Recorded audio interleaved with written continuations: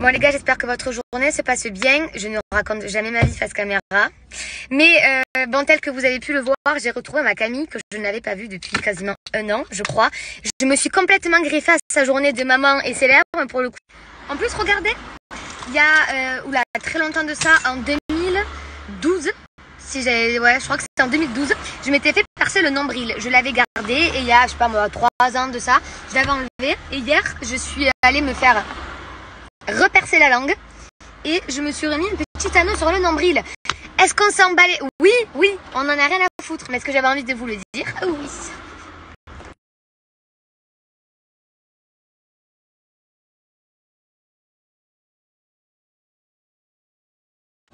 Regardez mon plat, regardez mon dessert.